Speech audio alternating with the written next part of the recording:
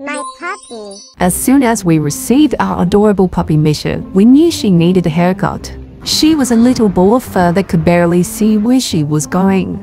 We found a groomer right on the corner, and we were probably more excited than Misha was. We had visions of a perfectly groomed and stylish dog. The only downside to Misha's fabulous new look was the cost. The grooming bill was a whopping 75 for our but we figured it was worth it for such a stunning new hairdo. We dropped off Misha at the salon and eagerly waited for three hours. When we walked in, we saw a beautiful, fluffy puppy with a pink bow. We were amazed at how different she looked. Even though she was the same color, we didn't recognize our Misha in her. But then she joyfully ran up to us, and we saw her beautiful blackberry eyes.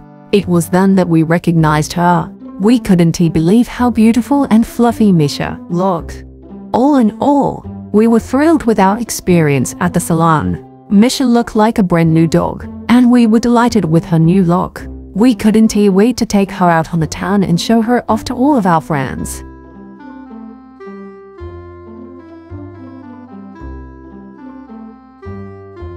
We were completely mesmerized and couldn't take our eyes off her. We took a ton of photos and showed them to everyone we knew.